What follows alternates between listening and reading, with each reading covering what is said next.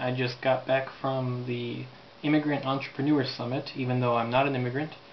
Um, but my CPA is kind of one of the big head honchos involved in that uh, conference, and so I went last year, and I went again today, and I have to say, uh, conferences are amazing because even when they're not necessarily like the kind of thing that you would expect to go to, like I would go to GDC, um, and GDC is an awesome conference to go to. Go the whole week if you can.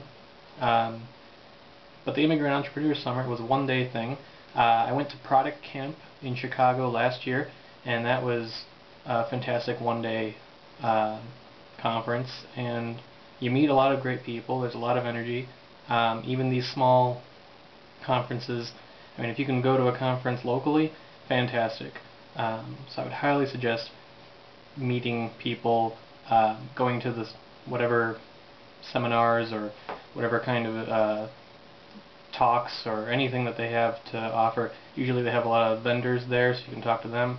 You get a lot of great ideas. You come home and you just can't help but feel compelled to work on what you're doing.